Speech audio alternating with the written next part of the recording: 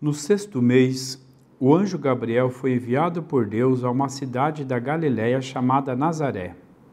Foi a uma virgem prometida em casamento a um homem chamado José, que era descendente de Davi. E o nome da virgem era Maria. O anjo entrou onde ela estava e disse: Alegra-te, cheia de graça, o Senhor está com você.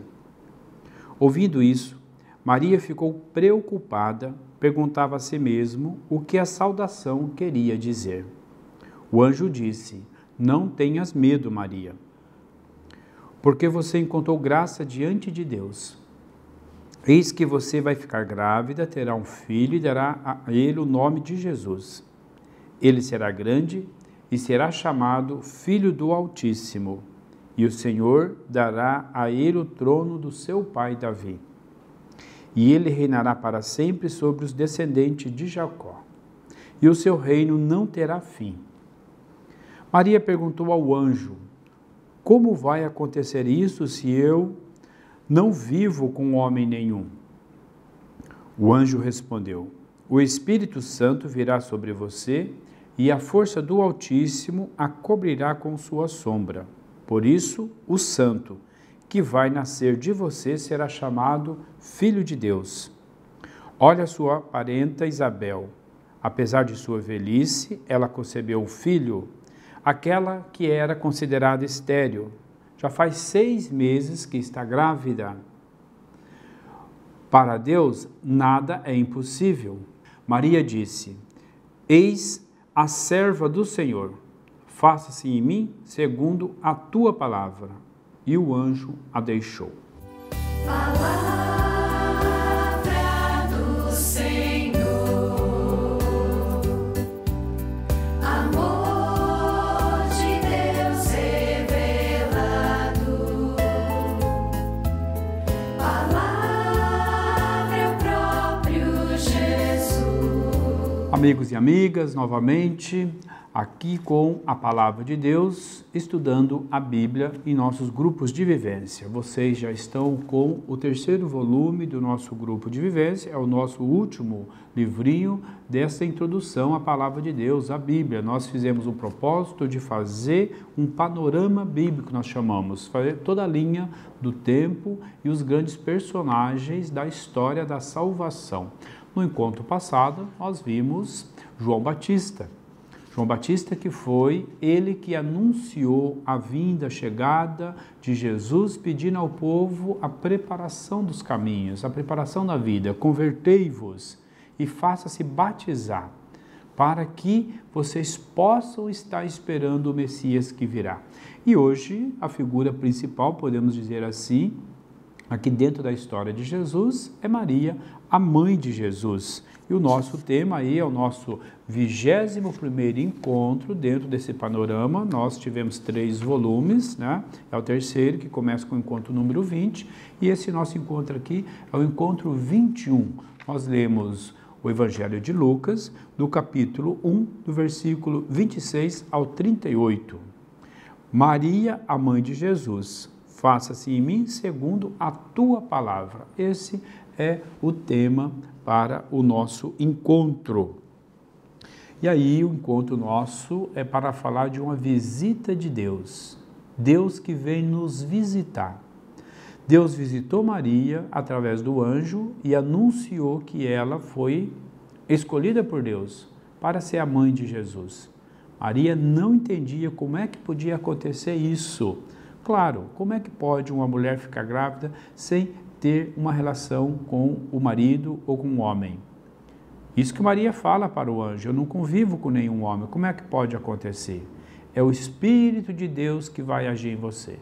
Você vai ficar grávida por obra do Espírito Santo. É a ação de Deus.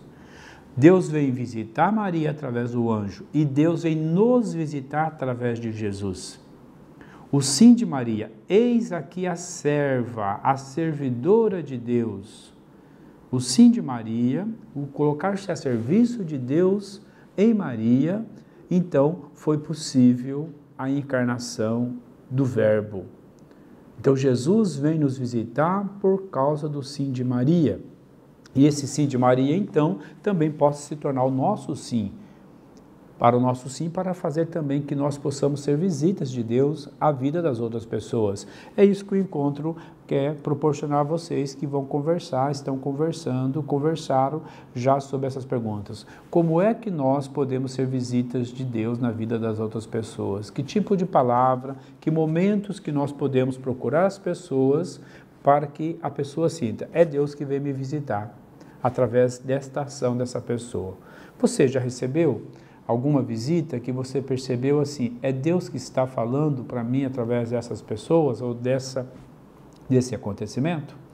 Então Maria recebeu, tantos outros personagens bíblicos receberam a visita de Deus, até em sonho, aparições ou mesmo pessoas que vêm em nome de Deus fazer né, uma visita, fazer uma acolhida. Então nós estamos sendo chamados para vivenciar essa experiência de Deus em nossa vida na figura de Maria. Como é que você tem feito essa experiência de Deus? Então, como é que Deus te visita? Depois nós continuássemos lendo o texto, iria dizer que Maria foi apressadamente visitar Isabel. Maria visita também. Maria vai levar a Isabel também uma palavra de consolo, mas quando ela chega lá, Isabel já está sabendo de tudo, porque quando ela conversa com Isabel, os dois, João Batista e Jesus, no ventre das mães, já também se comunicam. Porque Isabel disse: quando a tua saudação chegou ao meu ouvido, o meu ventre estremeceu, né? O meu bebê pulou aqui no meu ventre, por causa da palavra de Maria nós estamos fazendo esse estudo bíblico para nós conhecermos mais a nossa fé, a nossa vida religiosa e também poder praticar mais e assumir principalmente o nosso compromisso de batizados. Você então é convidado juntos em grupo de vivência ou mesmo sozinho na sua casa, com outras pessoas em outros lugares, a estudar a Bíblia a ler, a meditar, a trocar experiência, a questionar, a falar com as pessoas. Se precisar, mande mensagem para a gente também aí pelo grupo do WhatsApp ou pelo mensagem que nós vamos poder ajudar você. Então, o nosso encontro de hoje, estudando então sobre a mãe de Jesus, Maria, que se tornou serva de Deus, que recebeu a visita de Deus em sua casa, anunciando que ela foi escolhida. E Maria disse sim, então Jesus nasce. Jesus é a visita de Deus para todos nós. E nós, como batizados em Jesus, somos visita de Deus para outras pessoas. É isso que nós queremos nesse grupo de vivência, refletindo no dia de hoje. E ainda nós temos depois os textos bíblicos, né, para a gente poder fazer aí na página 9 os exercícios. Para você aprofundar esse livro, esse encontro e mesmo responder aos exercícios, eu sugeri aí no, no aviso ou mesmo no início da, das perguntas para o exercício, assistir um videozinho que está no YouTube. O canal do YouTube tem um vídeo chamado A História do Nascimento. A história do nascimento apresenta a realidade de Maria e de José, do anúncio do anjo a Maria e aí toda a história de Jesus. Tá? Então é muito bonito, é muito interessante para conhecer a realidade do povo daquela época e a opressão que esse povo passava, até para a gente entender o contexto social do povo da Bíblia.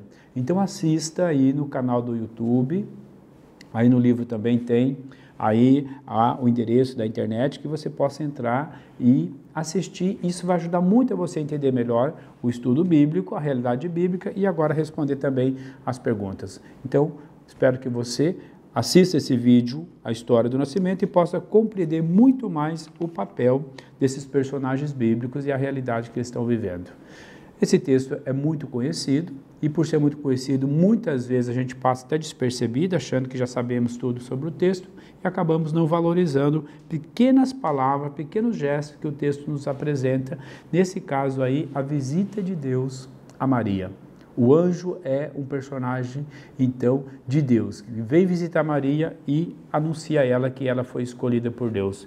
Que nós também possamos nos sentir escolhidos, através de convites que muitas pastorais, muitas pessoas fazem para nós colaborarmos na igreja ou mesmo em outras ações sociais em nossa comunidade. Espero que você esteja gostando dos vídeos, que os vídeos estejam sendo né, tenha sido aproveitado para preparar os encontros ou mesmo conversar dentro dos encontros. No próximo encontro, nós já vamos falar então de Jesus, a figura de Jesus, Filho de Deus, que vem ao nosso encontro, a figura de Jesus, Filho de Maria, que vem ao nosso encontro. Até o próximo encontro, Deus abençoe. Não esqueça de curtir o vídeo, compartilhar, comentar e assistir os outros né, vídeos aí no canal do DA TV, o canal da Diocese de Apucarana.